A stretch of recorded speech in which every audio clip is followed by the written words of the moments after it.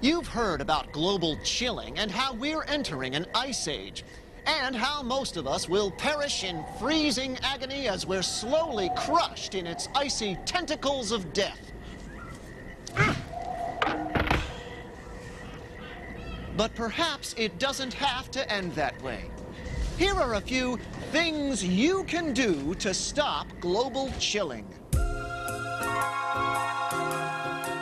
To stop global chilling, we need to warm the atmosphere with high levels of gases like methane. To get more methane, instead of cleaning up our garbage, we could bury it in a big, stinky landfill. And we really need more carbon dioxide.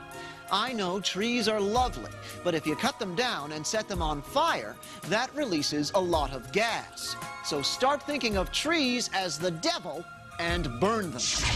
But the best way an individual can release CO2 is with one of these, a car.